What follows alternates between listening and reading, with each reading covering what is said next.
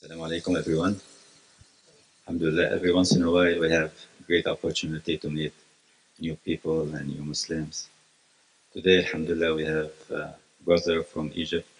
His name is Fadi, and he's, uh, he's about to embark on a new journey, the journey of Islam.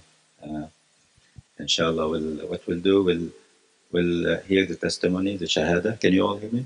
Yeah?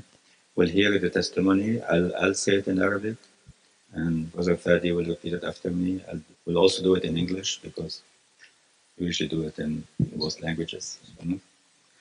And uh, it's very simple to, you know, to become Muslim is very simple. Yeah, uh, the main that in our heart we start believing in Allah subhanahu wa ta'ala as the only creator. We believe in the Prophet ﷺ as the final messenger. And uh, we believe in all the prophets from Adam alayhi salam until Muhammad sallallahu alayhi wasallam. So yeah, so I'll do it slowly as we usually do. But, yeah. أشهد أشهد أن لا أن لا إله إله إلا الله إلا الله وأشهد وأشهد أن أن محمدا محمدا عبده ورسوله. عبده ورسوله I bear witness I bear witness that there is no deity save Allah. that there is no deity except Allah. Hmm. I bear witness I bear witness that there is no deity worthy of worship except Allah. worthy of worship except Allah. And I bear witness I bear witness that Muhammad Muhammad is his final messenger that Muhammad is his final messenger and his final prophet and his final prophet to humanity until the day of judgment. to humanity till the day of judgment. Alhamdulillah. So yeah. So uh, uh, there, was, there, there was a request for Brother Fadi to introduce himself and uh, to the community, and the community is welcoming. Uh, So I'm a Coptic Christian from Egypt. Uh, I moved here when I was I moved here in 2013.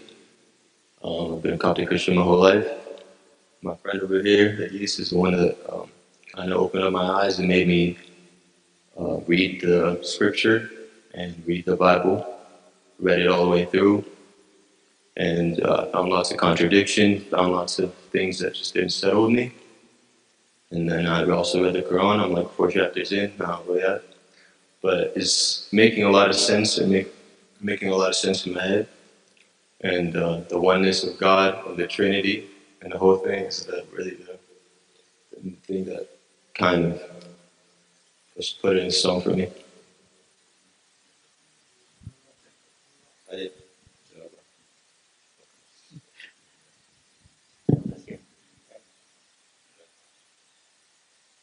Jazakallah khair, Brother Fadi. Thank you for bringing your light to us and the, the privilege of allowing you to be part of this journey. It's a long journey that we're all on, and Sheikh Talal, thank you for helping us uh, facilitate this. We have a little gift for you here. It's uh, what the resources that we need for you, uh, for, well, that we feel that would help you hit the ground running with us, inshallah.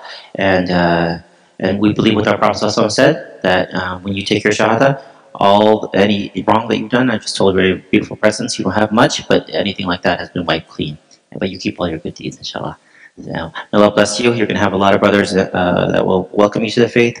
Uh, they'll ask for your prayers because we have a lot to answer for, and uh, you don't. So that's why your prayers are very valuable. So we ask for you to pray for all of us, inshallah.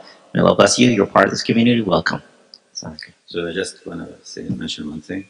So yeah, we have report that whenever someone becomes Muslim, all his previous sins are wiped out. But we also have reports that say if someone becomes Muslim, their previous good deeds will be counted for them.